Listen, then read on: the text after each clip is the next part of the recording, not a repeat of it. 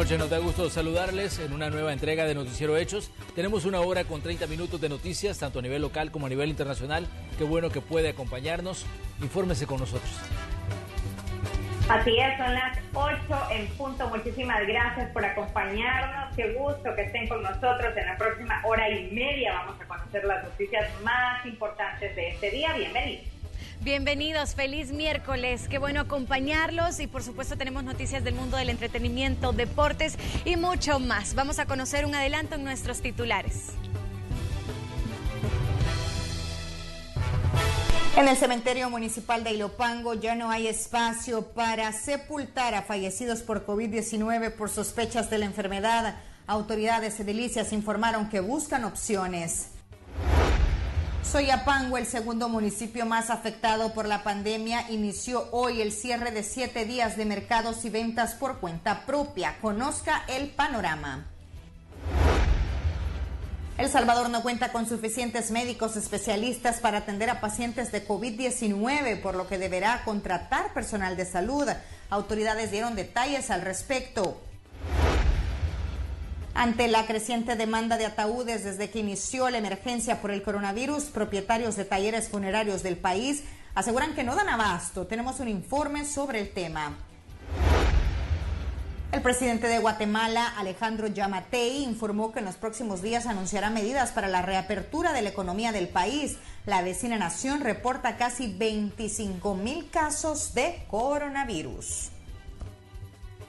Comenzamos con el detalle de las noticias. Comandos de Salvamento continúa cerrando seccionales en el interior del país por falta de recursos y equipos de bioseguridad para los voluntarios. Luis Alberto López nos informa sobre lo que está ocurriendo. El servicio de traslado de atención de pacientes por comandos de salvamento ha sido suspendido por tiempo indefinido en las seccionales de Ciudad Arce, Zapotitán, El Congo y Usulután. No se descarta que en los próximos días cierren operaciones otras. El personal tiene que ir eh, equipado con mascarilla, guantes, gabacha, lentes, alcohol gel, alcohol desinfectante, sanitización de las ambulancias. Entonces todo esto lleva un gasto de que las bases han concluido, ya no hay más recursos. Hemos trabajado cinco meses a, pura escasez, con mascarillas y guantes, este, pero se ha llegado a un momento de que las bases están, han colapsado. El apoyo del sector privado y público no es suficiente y los voluntarios no se pueden arriesgar a contagiarse por falta de equipo de bioseguridad. Ahora, ¿qué implica el cierre temporal, digamos, de, esta, de estas bases? Significa menos personas ayudadas, eh, más personas sufriendo, necesitando ayuda, eh, necesitando que se les traslade a un hospital muchas personas que, no van a hallar la, ayuda que siempre han hallado en comandos de salvamento. Eh, va a ser eh, lastimosamente pues negada. las personas no van a hallar cómo trasladar a su paciente a, a los centros hospitalarios. Comandos de salvamentos no atiende casos de COVID. Sin embargo, los accidentes de tránsito, lesiones o cualquier otra emergencia siempre se requiere de un protocolo por sospechas de coronavirus por cada atención que se haga.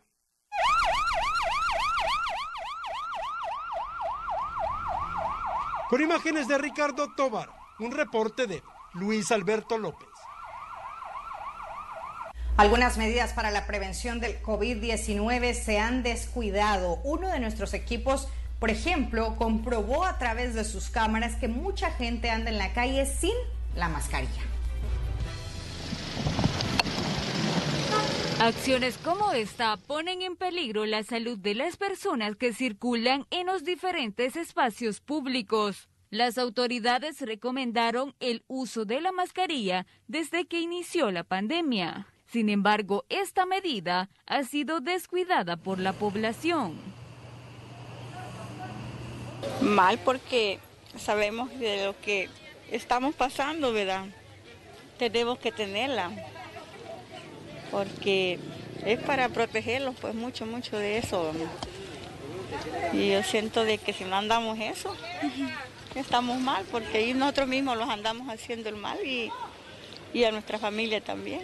que son bastante responsables porque ahorita está al, alcance de la mano No, no, no es imposible encontrar una mascarilla y así como dijo el presidente en un momento también, que hasta se podía hacer con algún instrumento que no tuviera en la casa, algún trapo o algo así. Sea, no es una excusa fácil de creer. Y evitamos contagios, evitamos que se siga propagando y nos cuidamos todos, pues, con algo tan básico. Está accesible la quirúrgica también. Según los miembros de comandos de salvamento, las emergencias por síntomas relacionados al COVID-19 se han multiplicado. Mil por ciento ahorita en estos momentos hay mucha gente, pero lastimosamente nosotros no tenemos, no estamos en la capacidad ahorita, eh, no tenemos el equipo necesario. Nosotros quisiéramos de todo corazón ayudar a todas estas personas porque son diariamente de 20 a 25 personas que nos llaman, que ahorita solo el CEN está autorizado para, para trasladar este tipo de personas, porque para nosotros todas las personas son sospechosas, ¿verdad? Eh, nosotros ahorita todo el personal eh, por miedo a la enfermedad no, no está lo que es accediendo a lo que es a la institución a prestar servicio y las ambulancias que están las estamos ocupando más que todo para accidentes de tránsito que también se nos ha elevado. Por lo que recomiendan darle un buen uso a este artefacto de protección. De protegernos lo que es las fosas nasales y lo que es la boca, ¿verdad? Eh, bien protegida para que el virus pues no, penetre en nuestro cuerpo. Cuando andemos mascarillas no es recomendable estarla, estarla quitando y estarla poniendo. Eh, lo recomendable es que más que todo cuando una persona va a comer siempre ande en una bolsita estéril, eh, se quite la mascarilla de forma adecuada, siempre por la parte externa, se meta en la bolsita eh, mientras come y de ahí lo mismo colocársela, ¿verdad? Eh, lo mismo así para desecharla, ¿verdad? Debido a esta situación, algunos alcaldes han decidido poner multas a las personas que no utilicen la mascarilla. También se presentó una pieza de correspondencia en Asamblea Legislativa para crear una ley del uso obligatorio de mascarillas y aplicación de protocolos de bioseguridad por la pandemia de COVID-19, en la que podrían imponerse sanciones económicas de hasta 100 dólares. Con imágenes de Ever Ábalos Carlagoches, Noticiero Hechos. Es muy importante acatar las indicaciones sobre el uso de las mascarillas y ahora pues vamos a conocer las sanciones económicas que se aplican en diferentes países, ¿saben? Por no utilizar la mascarilla. En Estados Unidos, por ejemplo, la multa por no usarla va desde los 150 dólares a 300. En México puede llegar hasta los 2.600 pesos, eso es un equivalente a 114 dólares. Y en España también se han tomado estas medidas. En ese país las multas pueden ser de hasta 100 euros. Esto pues es un equivalente a 113 dólares por no utilizar mascarilla. A partir de hoy y durante siete días se mantiene el cierre de mercados y ventas por cuenta propia en el municipio de Soyapango, el segundo municipio con más casos de COVID-19. La periodista Marcela Rivera nos cuenta y detalla lo que está ocurriendo ahí. Así luce la calle Franklin Delano Roosevelt y sus alrededores. Pocas personas circulando debido al cierre temporal de los mercados y la prohibición de ventas por cuenta propia en la vía pública, medida que se implementó desde este 8 de julio y se mantendrá por siete días. El objetivo es contener los casos de coronavirus en el municipio, en donde hay más de 241 mil habitantes. Bien, va, porque ahorita el virus se ha programado bastante, va, ha avanzado bastante, entonces eso que han cerrado los mercados, yo hallo bien, porque así puede evitar bastante contagio. Para evitar las aglomeraciones sí está bien, ¿verdad?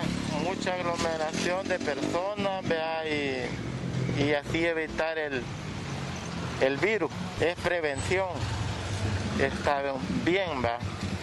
Con las normativas y los reglamentos que debería de cuidar cada salvadoreño, ¿va? No, ¿verdad? Porque porque la verdad que estamos pasando un momento crítico y son buenas las medidas, pero que las tomen también este conjunto con el gobierno para que para que esto, pues, esta enfermedad vaya reduciendo. Comerciantes sostienen que estas medidas afectarán más la economía de muchas familias, como en el caso de ellos que dependen de las ventas diarias para mantenerlos. Ocho días tenemos que venir, pero si dicen entre ocho días vamos a no venir, es muy injusto también, porque aquí dependen nuestros hijos, nuestra familia, tenemos cargos, tenemos deuda, tenemos muchas cosas que pagar y es bien injusto. Ya es demasiado tarde, ya tenemos en muchas comunidades pues de, de, lo que es este municipio muertes, ya esto ya no son números como lo decían antes, 300, 250, no, hoy ya son nuestros amigos, nuestra familia. Soyapango es el segundo municipio que registra la mayor cantidad de contagios por COVID-19. La cifra casi alcanza los 600. Esto ha derivado en la implementación de medidas para evitar las aglomeraciones. Con imágenes e informe de Marcela Rivera. Y el alcalde de Soyapango, Juan Pablo Álvarez, presentó en la Asamblea Legislativa una iniciativa de ley para que se pueda implementar un estado de excepción focalizado y así bajar la curva de contagios de COVID-19 en este municipio. Quiero externarles que ya en Soyapango, a pesar de que tenemos tres hospitales, tenemos el Hospital del Seguro Social en Prados 4. Tenemos el Hospital Molina. Y tenemos el Hospital Amatepec. Lamentablemente estos lugares están colapsados y cuando el ciudadano va en busca de ayuda de sanidad porque está grave, lamentablemente tiene que esperar 3, 4 días por una cama o regresarse a casa solo con loratadina y acetaminofén cosas que eran importantes al inicio de los síntomas y no cuando ya están presentando un cuadro de neumonía que lamentablemente los puede llevar a la muerte. Vamos a la zona oriental. En el mercado municipal de Santa Rosa de Lima, en el departamento de la Unión, se han incrementado los protocolos de desinfección para quienes entran a realizar sus compras. De acuerdo a las autoridades, esto se hace con el objetivo de prevenir posibles casos de COVID-19. Siempre tomando todas las medidas necesarias pues para prevenir lo que es este virus, ¿verdad? Que está causando tanta muerte y dolor acá en nuestro país como a nivel mundial. Decirte de que las medidas se han incrementado un poquito más, pues por la cuestión de que solamente el mercado tenemos habilitado con las ventas, lo que es a nivel de municipio. Además de los super selectos, ¿verdad? Y despensas, pero lo que es público creo que es solamente el mercado. Entonces, como podrás ver, observar acá, tenemos lo que es la sanitización de pies, tenemos el alcohol gel para que todas las personas lo usen, tenemos el lavado de manos, tenemos tomando temperatura, ah, no se permiten niños, no se permiten vendedores ambulantes, no se permiten personas que no vayan, todos tienen que ir con su debida mascarilla. Hoy vamos a cambiar de municipio y contarles que para reducir los contagios de COVID-19 en el municipio de Nueva Concepción, esto en Chalatenango, el alcalde de esa localidad pues ha implementado una serie de medidas en el mercado municipal. Y ha, puesto un papel ¿va? que ni menores ni mayores de 60 años no se pueden dejar, ingresar por medidas, ¿verdad? Para proteger, eso, eso es lo que hacer las nuevas órdenes y ahí está el papel también para que la gente ya lo esté viendo ya también va. Que carte las órdenes que han, que han dado para que tomen esa medida, pues bien tanto como para los niños como para los mayores de edad, ¿verdad? Y en la alcaldía de Santa Tecla se continúan regulando las ventas en el mercado central y todo el municipio, según el alcalde Roberto Dawson, uno de los principales focos de infección de la enfermedad son los vehículos particulares utilizados para el comercio ambulante, por lo que se aumentarán los controles en ese sector. Van a irse a la terminal sur, ahorita que no ha abierto todavía transporte público, cuando abra el transporte público lo vamos a desplazar, vamos a anunciar a dónde, pero mientras tanto van a estar llegando ahí, ahí tenemos una cabina desinfectante para que se desinfecten los que andan operando la unidad, o sea, el, el que maneja y el que vende. Y vamos a desinfectar la unidad y vamos a desinfectar la mercadería. Ellos van a salir con el permiso del día. Y también se han aplicado, se aprobaron las multas que van a tener por la inobservancia a la medida. La multa por la mercadería es de 57.14 que ya estaba regulada por ventas no autorizadas y el vehículo es de 100 dólares. Bien, revisemos la página oficial sobre los casos de COVID-19. Ahí tenemos el dato. Son 8.566 casos globales que ha registrado El Salvador desde marzo hasta lo que vamos del mes de julio.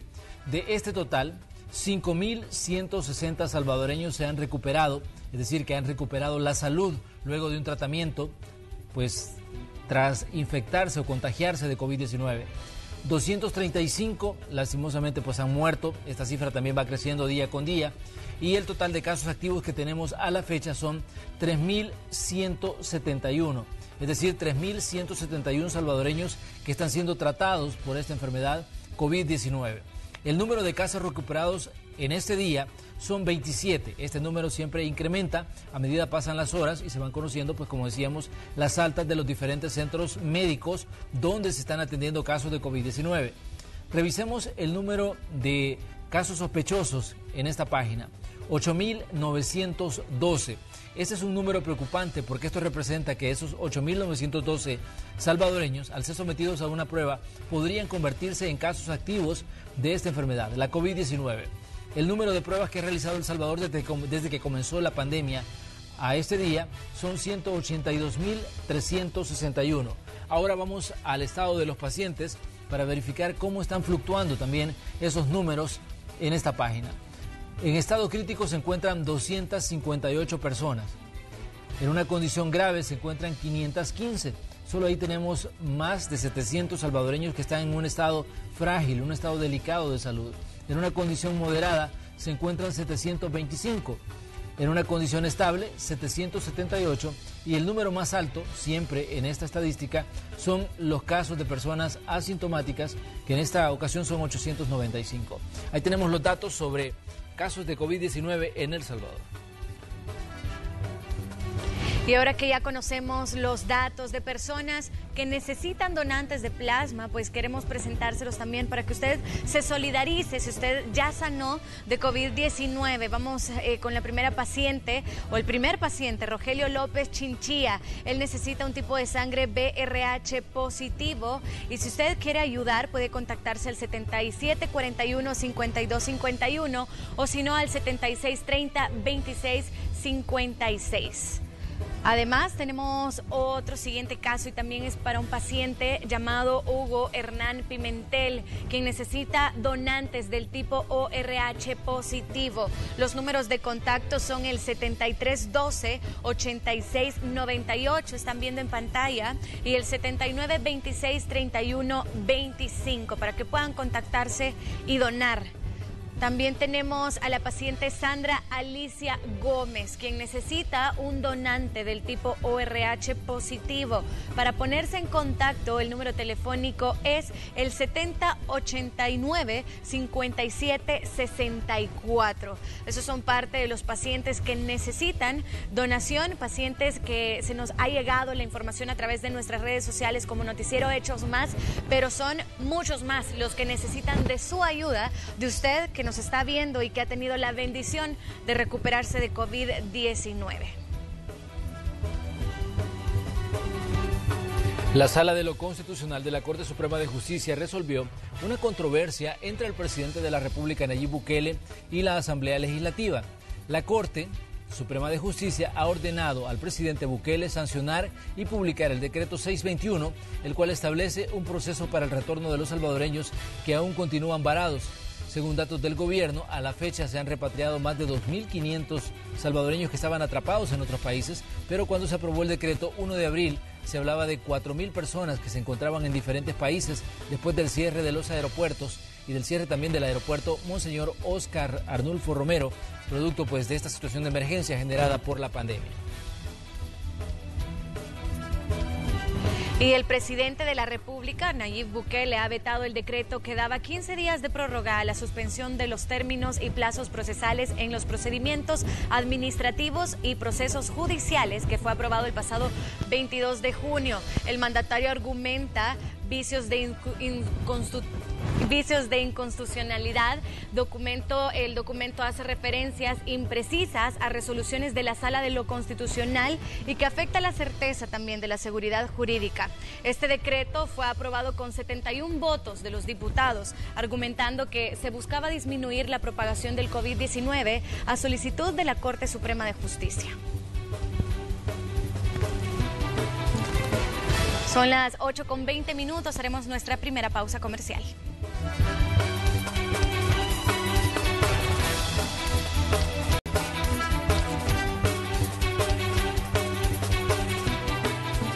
Sin dar abasto, así están decenas de talleres funerarios ante la pandemia del COVID-19. Julio Guevara nos presenta la nota.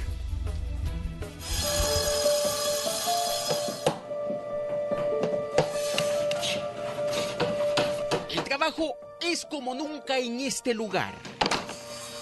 Un grupo de hombres trabaja el doble o mejor dicho el triple ante la demanda de producción. Aquí, la madera es transformada en ataúdes, depósitos para cadáveres cuya venta en las últimas semanas se ha disparado. A veces lo que hacemos nosotros es de que los clientes que los piden los ataúdes los hacen los pedidos, ¿va? Lo que hacemos es para, como no logramos sacarlas tal vez lo que ellos los dicen, entonces les, decimos, lleven una parte y, la, y, con la tal vez en otros días les damos el complemento.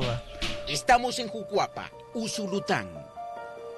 Este municipio es reconocido a nivel nacional por sus talleres funerarios. Los propietarios de estos negocios están preocupados porque no han podido cumplirles a sus clientes como siempre. En pocas palabras, aseguran que no están dando abasto.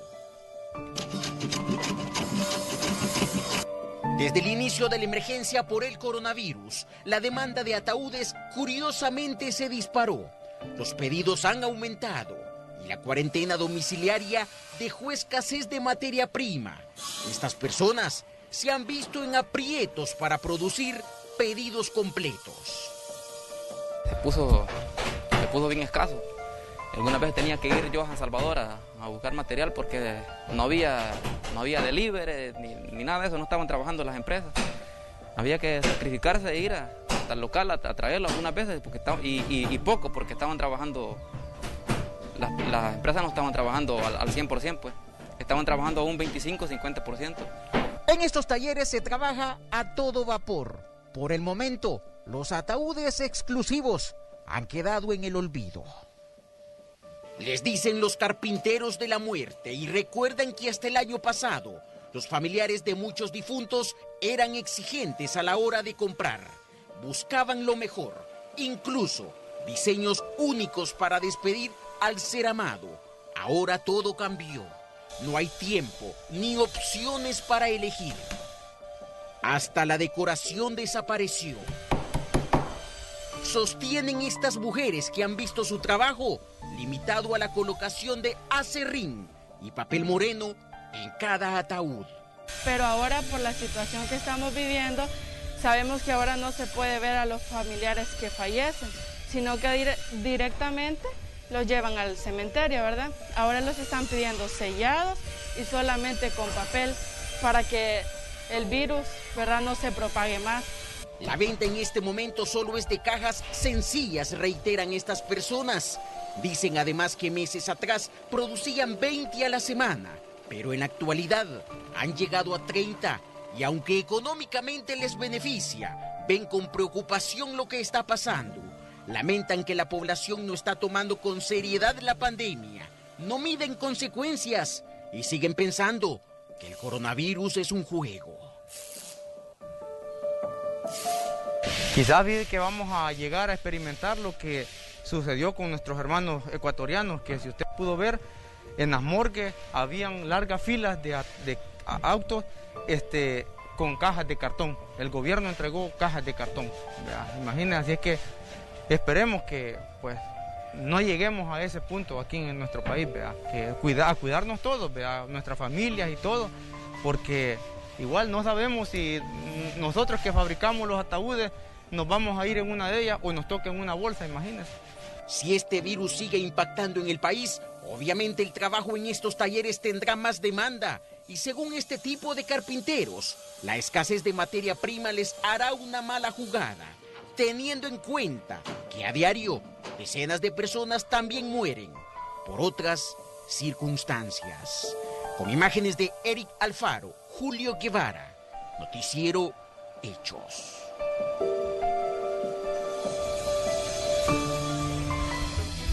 Bien, luego de ver este reporte de Julio Guevara, está de más decir que la situación es grave. Eso es un termómetro de lo que está pasando en nuestro país. Y la cifra de fallecidos por coronavirus obligó a que cementerios municipales estén empezando a cerrar sus puertas y a que no se permitan más inhumaciones. Conozcamos cuál es la situación en el municipio de Ilopango.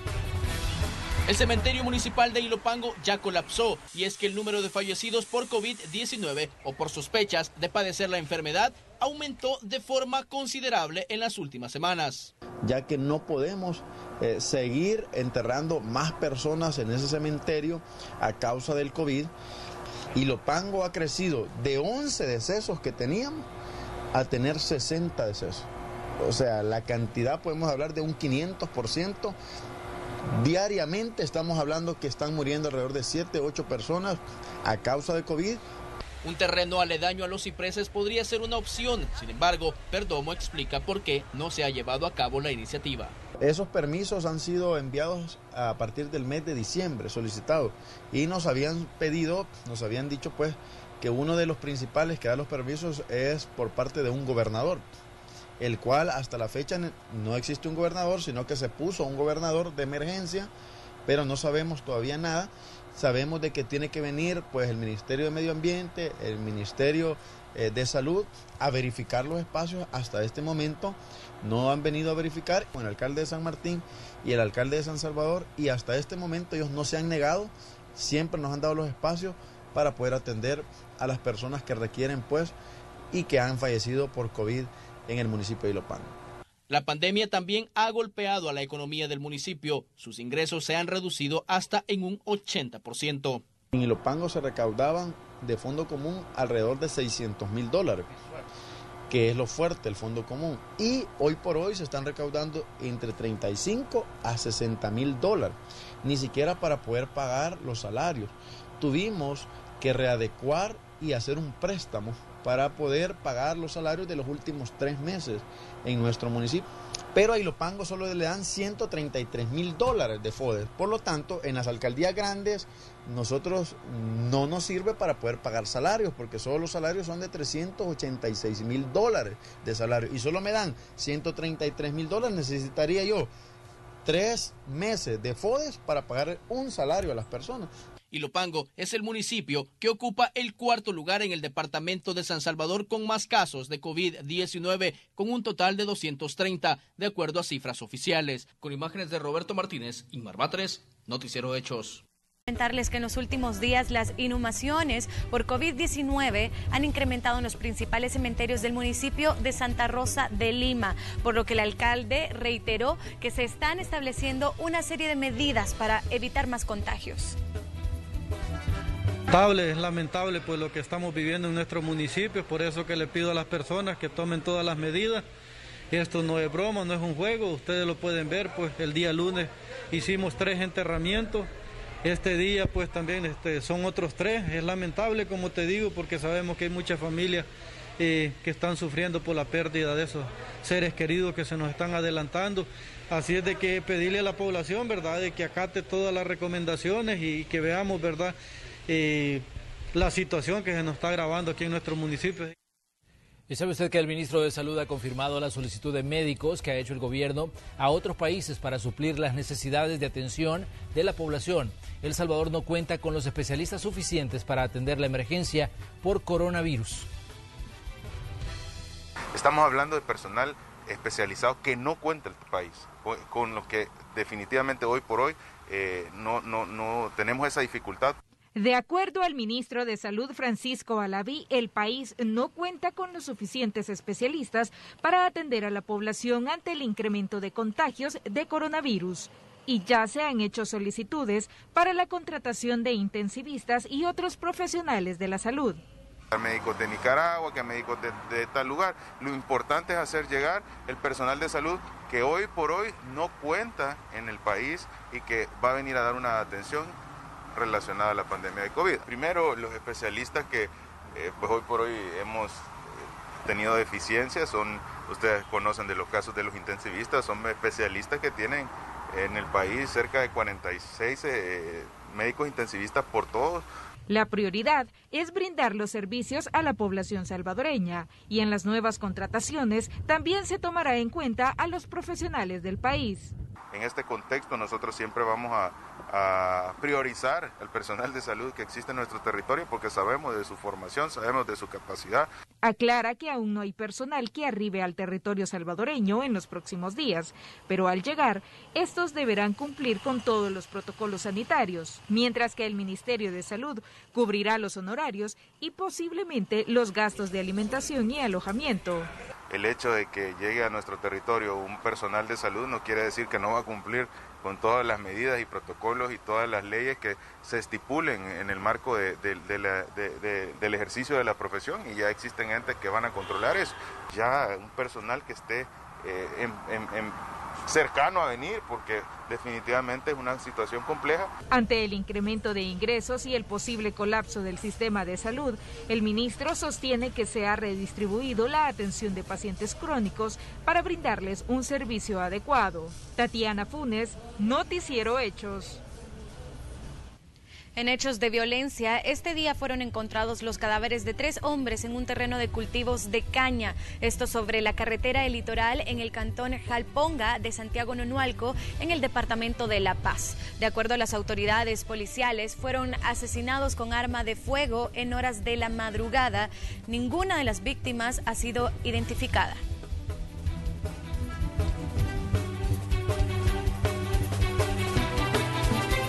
El juzgado especializado de instrucción B de San Salvador envió a juicio a 30 acusados en el caso Operación Escudo Regional por los delitos de homicidios, extorsiones, lavado de dinero, agrupaciones ilícitas, actos de terrorismo y otros.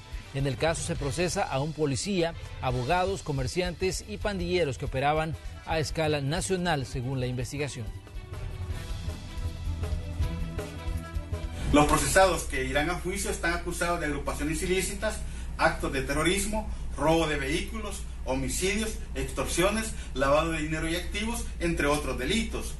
Asimismo, entre quienes irán a juicio se encuentran eh, un exagente de la PNC acusado de vender armas a las pandillas y de darles información sobre algunos operativos para que ellos pudieran escapar a tiempo, así como comerciantes y dos abogados que supuestamente informaban sobre los testigos de los procesos a los pandilleros para que estos actuaran matándolos. Eh, todos los procesados fueron detenidos en mayo del año pasado en los departamentos de San Salvador, San Miguel, Santa Ana, Chalatenango y Aguachapán. Y la Asamblea Legislativa aprobó dos dictámenes para incluir la fotografía del candidato suplente y del rostro del candidato a alcalde por cualquiera de los municipios del país en las papeletas de votación. El nombre de los candidatos a diputados suplentes y fotografías de candidatos a alcaldes en las papeletas de votación para los próximos comicios fueron los dictámenes favorables que acordó la Comisión de Reformas Electorales y Constitucionales del Congreso. Uno de ellos es que tal como lo ha ordenado la Sala de lo Constitucional se legisle para que el nombre del diputado o diputada suplente se incorpore en la papeleta tal como se hizo en la elección pasada por orden de la sala, pero no había legislación, ahora lo vamos a dictar. Igualmente para que en la adjudicación de escaños se incorpore el diputado suplente correspondiente a cada propietario en la manera en que compitió. Este punto es muy importante. ¿Y esto en qué nos ayuda? A que el elector pueda manifestarse y pueda tener un conocimiento cuando va a decir, este es el diputado propietario, ah, este, el nombre de esta persona, el suplente también la conozco y ya está más en un proceso democrático más específico y claro.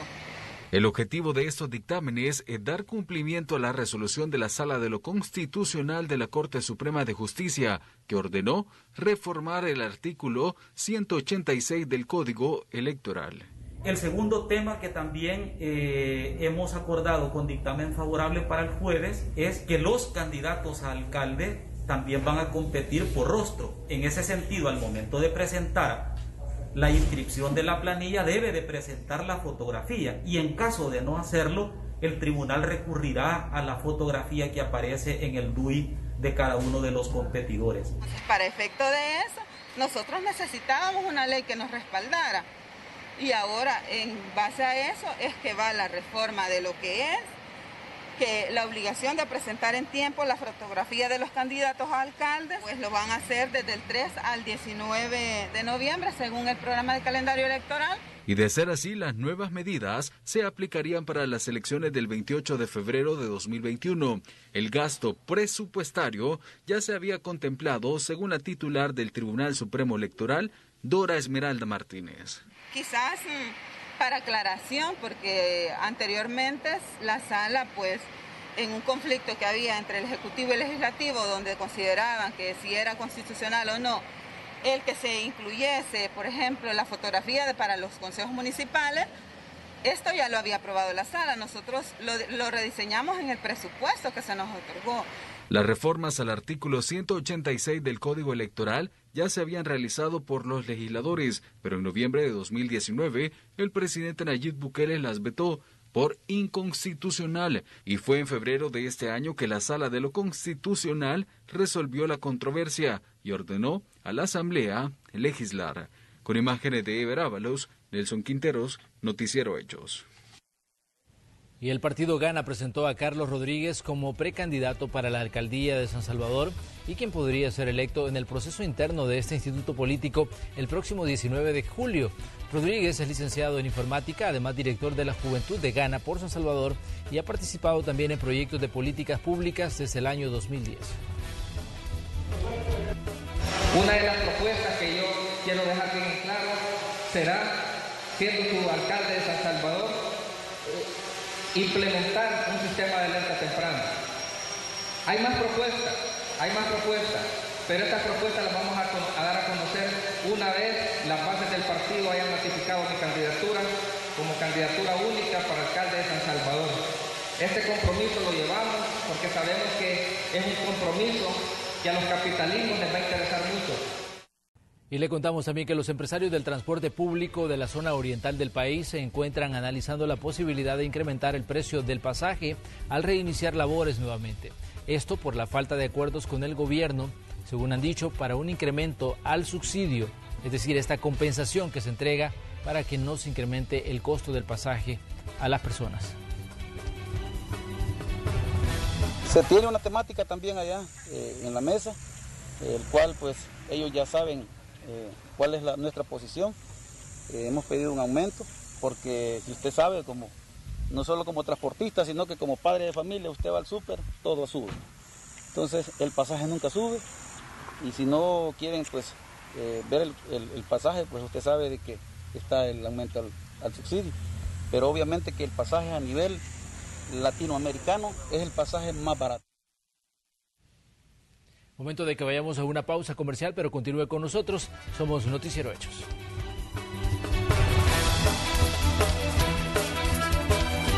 La falta de fondos en la Universidad de El Salvador pone en riesgo el desarrollo de diferentes programas e incluso el próximo ciclo.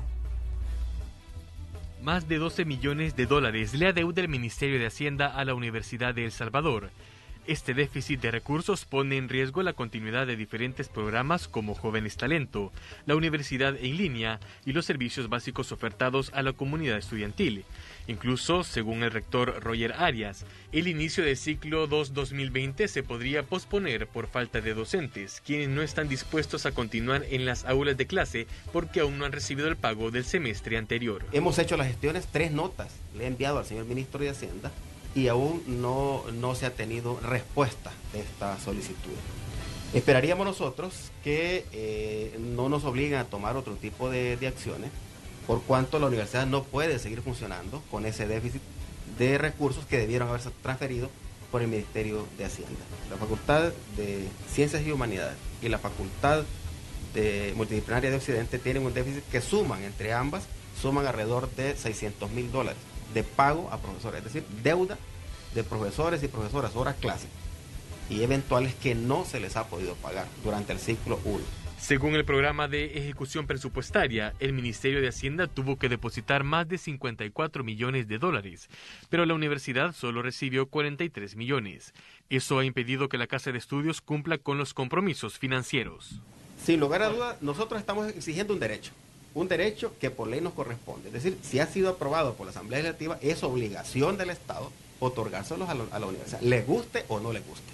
Es una obligación. No pueden retenerle presupuesto que ha sido aprobado y mucho menos retenerle transferencias que han sido aprobadas por la Dirección General de Tesorería y por la Dirección General de Presupuesto del Ministerio de Hacienda. Es decir, cuando se presenta la programación de la ejecución presupuestaria, es decir, el número de transferencias mensuales que deben realizar o el monto mensual que deben realizar, están en obligación de hacer cumplir esas transferencias porque hay una ley que les obliga a hacerlo, la ley de presupuesto. Las autoridades de la UES han solicitado apoyo para ayudar a los estudiantes más afectados durante la pandemia, entregando equipo tecnológico para recibir las clases virtuales y que el Estado absorba las mensualidades de aquellos que no tienen la capacidad económica por haber perdido su fuente de ingreso. El proyecto eh, lo presentamos con dos alternativas. Una alternativa eh, tiene un costo de alrededor de 700 mil dólares y la otra tiene un costo de un millón y medio de dólares para poder dotar de un dispositivo, casi que como una tablet, a cada estudiante que no cuenta hoy por hoy y que está inscrito en la universidad, pero no, no, pudo continuar las clases debido a que no tiene acceso a Internet. Eh, decías, es alrededor del 11%, en términos de números estamos hablando de cerca de 6.000 estudiantes los que no están siendo atendidos. A pesar de la falta de recursos, la Universidad de El Salvador continúa fortaleciendo sus laboratorios de la Facultad de Medicina. En poco tiempo tendrán la capacidad de realizar las pruebas de COVID-19. Con imágenes e informe de Enrique López, Noticiero Hechos. El sistema Fede Crédito y Hábitat para la Humanidad del Salvador firmaron una alianza para la construcción de viviendas y la reparación de techos de 165 familias que resultaron afectadas por las tormentas Amanda y Cristóbal. En total se van a invertir más de 632 mil dólares. La periodista Jennifer Flores tiene esta información. Las pasadas tormentas Amanda y Cristóbal opacaron la vida de muchas familias del país. Sus viviendas quedaron destruidas y algunos techos quedaron deteriorados. Por eso el sistema Fede Crédito y Hábitat para la Humanidad unieron esfuerzos para construir 55 viviendas y reparar 110 techos. De firmar una alianza eh, para construcción de viviendas para personas afectadas y personas de bajos ingresos afectadas por la tormenta Amanda. Eh, iniciativa que a través de una videoconferencia convocamos a todos los gerentes del sistema Fede Crédito, eh, de las cajas de crédito, los bancos de los trabajadores, además de las compañías de seguros y también de mm, Fede Servi, y logramos este, reunir entre todos pues una, una buena cantidad, las entidades y Fede Crédito. entre todos hemos eh, puesto a disposición para este proyecto 482.725 dólares. Es muy importante y estamos conscientes que todos merecen un lugar digno donde poder vivir. Y como todos sabemos, nuestras familias ya se estaban viendo afectadas por efectos de la pandemia COVID y con la llegada de la tormenta Amanda, pues muchos han perdido parcial o totalmente sus viviendas. Y es ahí eh, donde agradecemos la importancia de hacer esta alianza en la cual nos está permitiendo poder desarrollar acciones en conjunto para poder llegar a 165 familias. El sistema Fede Crédito además habilitó una cuenta para que los clientes aportaran su granito de arena a la causa. En total se recolectó 29.774.77 dólares. Hemos anotado que se harán 55 viviendas y se repararán alrededor de 110 techos. Habitat para la Humanidad de El Salvador está haciendo un aporte de 120 mil dólares. Eh, quisiera decir que, este convenio colaborativo está en el marco de la respuesta humanitaria que eh, el país necesita para las familias que se han visto afectadas por la tormenta Amanda y como ya explicaba también el doctor Ramos, eh, también son familias que han sido afectadas. Sabemos que hay muchas familias que han sido afectadas por la pandemia COVID-19. En total se beneficiarán 165 familias con esta alianza. El sistema Fede Crédito reiteró su compromiso en seguir apoyando en cambiar la calidad de vida de las personas con una vivienda digna y segura. Para Noticiero Hechos, Jennifer Flores. Hablemos de un hecho que ocurrió en el año 1989 y es que hoy durante el desarrollo del juicio por la masacre de los sacerdotes jesuitas, hoy fue escuchado el testimonio clave del exteniente René Yuchi Mendoza, de acuerdo a las declaraciones ofrecidas por Mendoza desde Chile, el ex coronel Inocente Montano integraba la cúpula que ordenó la operación militar para asesinar a los seis jesuitas y dos colaboradoras durante la ofensiva de noviembre del año 89. Agregó que Montano se encontraba en la reunión en la que se dio la orden de proceder a eliminar a Ignacio Ellacuría, al rector de la Universidad Centroamericana y uno de los jesuitas asesinados. En ese encuentro, en el que no participó Mendoza, pero sí su jefe directo, el coronel Guillermo Benavides, a quien se le encargó la operación, también se ordenó no dejar testigos.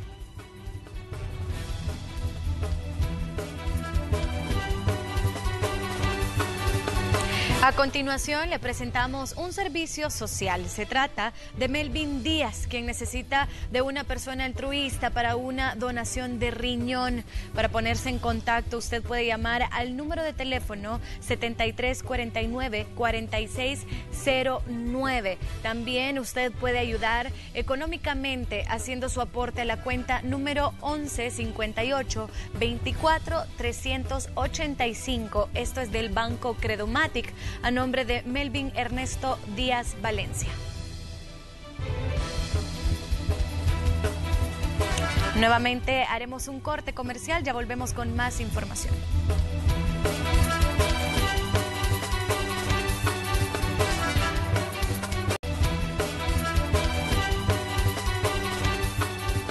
El presidente de los Estados Unidos, Donald Trump, recibió hoy a su par de México, Andrés Manuel López Obrador, en Washington. ¿De qué hablaron? Contarles que después de esta reunión y para después ofrecer ambos un mensaje a los medios de comunicación y posteriormente firmaron una declaratoria conjunta sobre el tratado entre México, Estados Unidos y Canadá. Ellos dijeron que este tratado permitirá que nuestra exitosa relación económica, una de las más fuertes del mundo, se expanda aún más en los años venideros, continuando así nuestra gran historia de cooperación compartida, así decía la declaratoria que firmaron los dos mandatarios de México y Estados Unidos.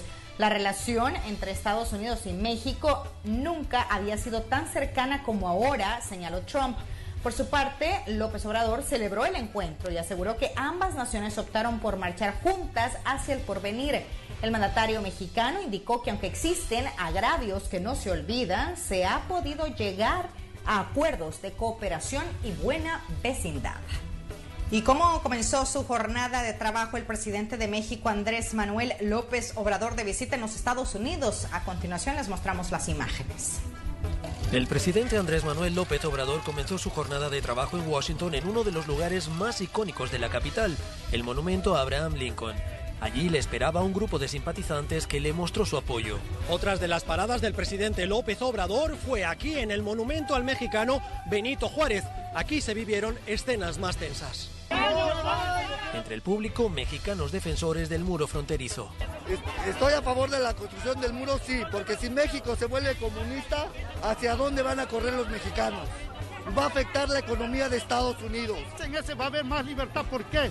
Porque entonces vamos a tener visa pero que vivamos bien. ¿Por qué? Porque Estados Unidos necesita la mano y obra de nosotros. Otros respaldaban una postura bien diferente y esperaban que en el encuentro en la Casa Blanca con Donald Trump, el líder mexicano defendiera a los inmigrantes. No solo como mexicanos, pero también inmigrantes centroamericanos, haitianos, de todos los países este, que se pudieran reconocer nuestros derechos en este país, que se nos reconozca como personas. Tanto el gobierno mexicano como la Casa Blanca han enmarcado esta visita en la reciente entrada en vigor del renegociado acuerdo comercial entre Estados Unidos, México y Canadá. Sin embargo, el gran ausente fue el primer ministro canadiense Justin Trudeau, quien alegó incompatibilidad de agendas. Desde la administración Trump dicen que esta jornada siempre pretendió centrarse en el vecino del sur. Hoy era, siempre fue el, propósito de tener una celebración en, la, lo que es esta histórica trayectoria entre los dos presidentes, presidente Trump y presidente López Obrador, una de las mejores relaciones bilaterales eh, que hemos tenido entre los Estados Unidos y México. López Obrador visitó la Casa Blanca en un momento crítico, cuando Trump se encuentra en plena campaña para su reelección en las elecciones de noviembre. Britio Segovia, Voz de América, Washington. España ha tenido la tasa más alta de personas de la tercera edad que murieron por la pandemia del COVID-19. El gobierno hoy dio sus conclusiones de por qué se dio esta tragedia específicamente en los asilos y esta es la nota. El sistema sanitario español logró evitar el colapso. Sin embargo, Voces críticas creen que no fue porque el sistema de salud funcionase bien, sino porque en el momento crítico de la pandemia no se trasladaron a los pacientes de las residencias a los hospitales. En esta residencia, administrada por una empresa familiar, en los peores días de la pandemia, solo tuvieron la ayuda del ayuntamiento, que proporcionó equipos de protección personal una vez que se confirmó que tenían casos. Entre el día 26 de marzo y el día 7 de abril, pues fue realmente una nube negra que tuvimos por encima y, tuvimos pérdidas. La mayoría de las 28 personas que trabajan aquí se contagiaron o quedaron en cuarentena, quedando solo 8 personas a cargo de 35 camas.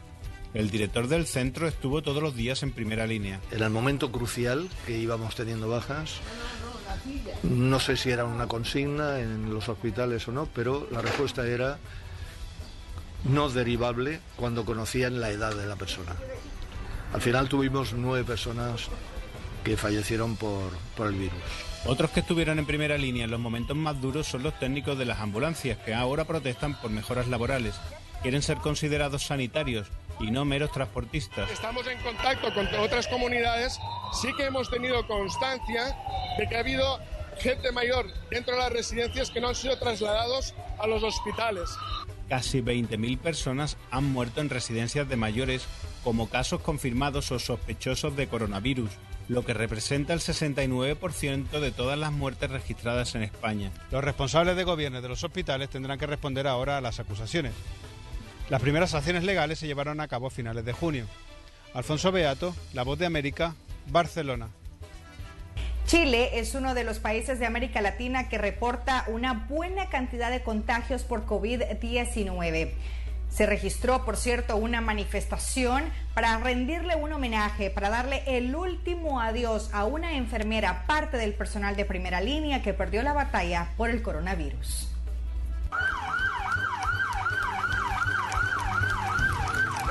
Trabajadores médicos de Santiago de Chile rindieron homenaje el martes a Patricia Durán Moyano, una enfermera del Hospital Barros Luco que murió tras ser diagnosticada con COVID-19. Sus colegas se despidieron de la enfermera que había sido tratada en el mismo hospital donde trabajaba, pero que había sido dada de alta a pesar de que todavía se sentía enferma. Una lamentable negligencia denunció Luisa Galvez, líder sindical del hospital. Nosotros, esto es una señal eh, importante que no queremos que se vuelva a repetir. No queremos tener que estar lamentando más muertes de los trabajadores. Galvez mencionó que ha habido quejas de colegas que tuvieron que volver a trabajar sin haberse sometido a la prueba de COVID-19 o que fueron dados de alta prematuramente para liberar camas. El Ministerio de Salud de Chile ha informado de 6.840 trabajadores de la salud infectados de COVID-19 y más de 10.000 en cuarentena preventiva. Eh, estamos puestos al riesgo y además estamos en la situación de, en la cual por falta de elementos de protección personal compañeros y compañeros se están contagiando.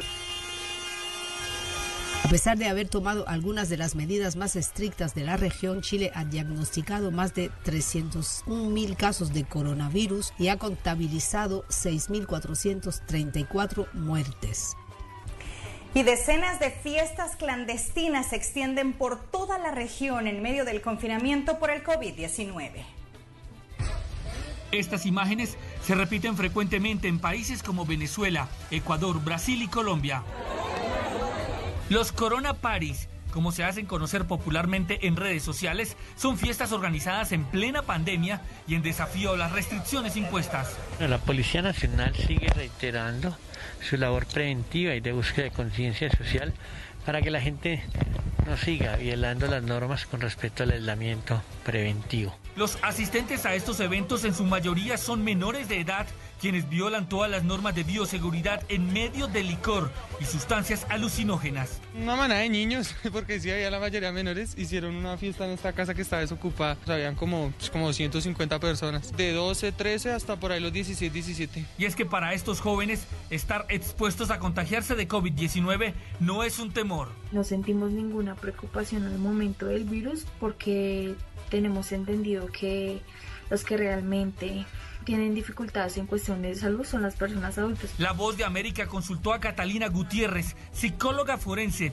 quien explicó el porqué de la falta de conciencia. Hacen básicamente movidos por el placer, están buscando placer por encima de su seguridad, por encima de su cuidado porque está faltando control de sus impulsos. Ni las acciones judiciales disuaden a sus promotores a organizar estos encuentros y así lo justifican. Sé que me va a dejar plata, lo que hacemos es cobrarle las entradas, los muchachos vienen y se divierten. Durante más de tres meses de confinamiento obligatorio, en Colombia alrededor de 15.000 fiestas clandestinas o Corona París han sido intervenidas por las autoridades. Jair Díaz, Voz de América, Bogotá. Y a pesar de la reapertura económica en mayo en los Estados Unidos, el envío de remesas se ha visto disminuido en toda la región centroamericana y El Salvador es el país más afectado. Desde que comenzó la pandemia, las calles de San Salvador permanecen casi vacías. Igual de desolado luce el panorama para miles de salvadoreños como Gladys, cuya hermana Ana observa con impotencia desde Houston cómo se deteriora la vida de los parientes que dejó atrás. Sus familiares en Estados Unidos ya no los pueden ayudar económicamente por la crisis del coronavirus. Ana escucha con detenimiento el relato que su hermana le hace a la distancia, guardando para sí los retos económicos que ella misma enfrenta en Estados Unidos desde que comenzó la crisis económica derivada de la pandemia. No más este, hemos estado trabajando 15 horas por quincena, que ni para la renta se saca y nomás solo para la comida. Por eso, con profundo pesar, últimamente Ana no ha podido enviar dinero a su familia en El Salvador y su caso se replica por miles desde que comenzó la propagación del COVID-19. En abril las remesas familiares enviadas a El Salvador cayeron en un 40%. En mayo, la reapertura económica en Estados Unidos tuvo un efecto inmediato en el país centroamericano, según el informe más reciente del Banco Central de Reservas del Salvador. Sí registramos menos remesas que el año pasado, pero eh, sí vemos que hay una tendencia menos decreciente con respecto a abril. ¿Por qué? Porque, por ejemplo, en abril, solo el mes de abril, comparado contra abril del año pasado, fue un crecimiento de menos 40%. En cambio, ahora en mayo ya tenemos una tasa siempre negativa, pero de menos 18%. Un avance importante para una de las economías más abatidas de la región desde antes de la pandemia.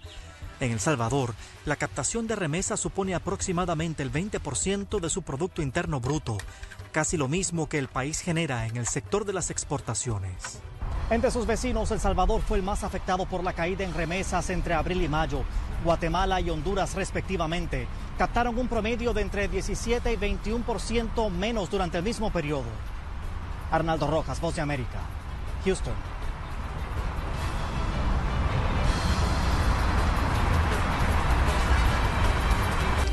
Y en China se reportan desaparecidos debido a las fuertes lluvias que han provocado aludes. Socorristas en el centro de China buscaban el miércoles a nueve personas desaparecidas en una luz en medio de inundaciones en gran parte del país. El desastre azotó el condado de Huangmei en la provincia de Hubei alrededor de las 4 de la madrugada, de acuerdo con los servicios de rescate. Otras 40 personas fueron rescatadas y llevadas a un albergue. En la ciudad de Huanggang, casi 30.000 personas fueron evacuadas luego de que agua comenzó a filtrarse de una represa, forzando equipos a fortalecer la estructura y acabar un canal para contener el flujo. Las inundaciones anuales de este año se producen en momentos en que China parece haber ganado al menos temporalmente la batalla contra el coronavirus, que se piensa se originó en Wuhan, la capital de la provincia central de Hubei. Las inundaciones han dejado más de 120 muertos o desaparecidos en varias provincias. La televisora estatal CCTV mostró escenas de pueblos y ciudades inundados por crecidas en partes de la provincia de Anhui. Las aguas rebasaron los niveles de alarma en 19 ríos, 5 lagos y más de 400 represas en esa región montañosa al oeste de Shanghái y otros centros urbanos en la costa este. Anhui y la vecina Hubei parecen haber sido las más afectadas por las lluvias de este verano. Los daños se estiman en millones de dólares, lo que aumenta las presiones sobre la economía nacional, que aún siente los efectos de los encierros causados por la pandemia y la pérdida de mercados extranjeros. Importantes destinos turísticos en el sur de China también han sufrido daños por las inundaciones, empeorando los problemas financieros causados por el desplome de visitantes. Rosalba Ruiz, Associated Press.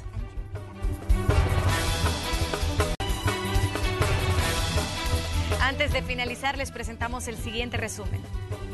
El Día Municipal de Ana Moros de la Unión dio a conocer las medidas de prevención que se van a implementar desde viernes 10 hasta el 18 de julio para evitar que más personas se contagien por COVID-19. La primera medida que vamos a implementar como municipalidad es la creación del equipo médico municipal.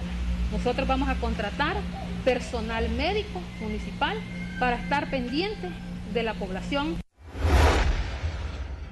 La Policía Nacional Civil de la Unión capturó a José Dimas Blanco, de 67 años, por posesión de drogas y a Carlos Elías Martínez, de 19 años, por robo y lesiones. Ambos tendrán que someterse al proceso judicial.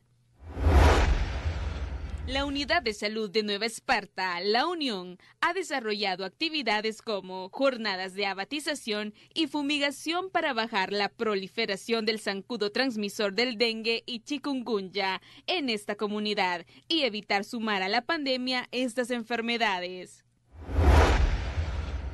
El Festival de Invierno en Perquín, Morazán, ha sido cancelado debido al incremento de personas que han dado positivo a COVID-19. Las autoridades municipales aseguran que así como esta, otras actividades que conlleven aglomeraciones de personas también serán canceladas.